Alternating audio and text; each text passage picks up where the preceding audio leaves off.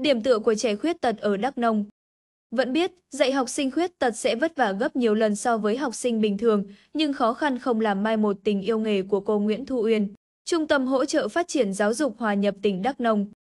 Năm 2017, cô gái trẻ Nguyễn Thu Uyên, sinh năm 1994 tốt nghiệp ngành sư phạm, trường Đại học Đồng Tháp. Thời điểm này, tỉnh Đắk Nông thành lập Trung tâm hỗ trợ phát triển giáo dục hòa nhập tỉnh.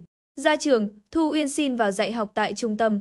Các em học sinh tại Trung tâm hỗ trợ phát triển giáo dục hòa nhập tỉnh Đắk Nông chủ yếu mắc các chứng bệnh bẩm sinh như đau, tự kỷ, câm điếc, chậm phát triển trí tuệ, khuyết tật thể chất. Gắn bó với trẻ khuyết tật, ngoài tình yêu nghề, đòi hỏi cô giáo Thu Uyên phải có sự kiên trì, đặc biệt là tình yêu với các em. Với đặc thù của lớp học nên phương pháp dạy cũng đặc biệt.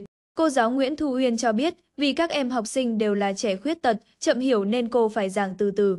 Kiên nhẫn chỉ cho các em từng chữ cho đến việc học cách tự phục vụ, kỹ năng sống hòa nhập cộng đồng. Anh Hồ Nhất Thiên, ở phường Nghĩa Đức, thành phố Gia Nghĩa có con trai bị chèn não hiện theo học tại Trung tâm Hỗ trợ Phát triển Giáo dục Hòa nhập tỉnh Đắk Nông. Anh Thiên cho biết, cháu được các cô giáo và nhân viên ở trung tâm chăm sóc tận tình, chu đáo, đặc biệt là cô giáo Thu Uyên. Cô Huyên không chỉ dạy cho cháu nhận biết mặt chữ, cách ăn uống, chào hỏi mà còn quan tâm cháu như con của mình. Chăm lo từng bữa ăn, giấc ngủ, anh Thiên chia sẻ.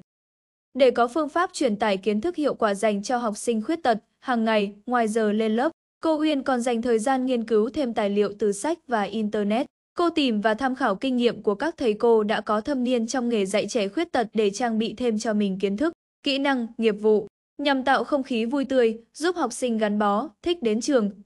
Ngoài giờ dạy học, cô Thu Uyên còn tổ chức nhiều trò chơi, giải trí cho các em.